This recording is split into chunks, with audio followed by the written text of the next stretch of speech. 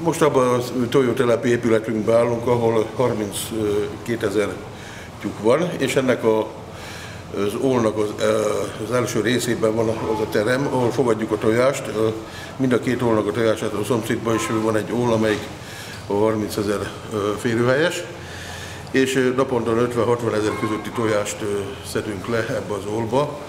Itt ez a szalag, ami mögöttünk van, ez szedi le szintről szintre a kijövő tojást az ólból, és akkor ráviszi egy tojás leszedő gépre, úgynevezett farm packernak hívják ezt. Hát most jelen pillanatban nem üzemel, mert éppen befejezték a tojásszedést, és ez csak tálcázza a tojásokat, egymásra rakja a tojás tálcákat itt a következő berendezés, ez a stócoló, és akkor hatosával összerakja, és utána pedig a dolgozók leszedik, és akkor megy a raklapra, és azt követően pedig a megrendelések alapján vagy megy egy lédig állapotba különböző megrendelők részére, vagy pedig megy át a, az osztályozó csomagoló helyiségbe, ahol a rendeléseknek megfelelően szereljük. 600 termelnek.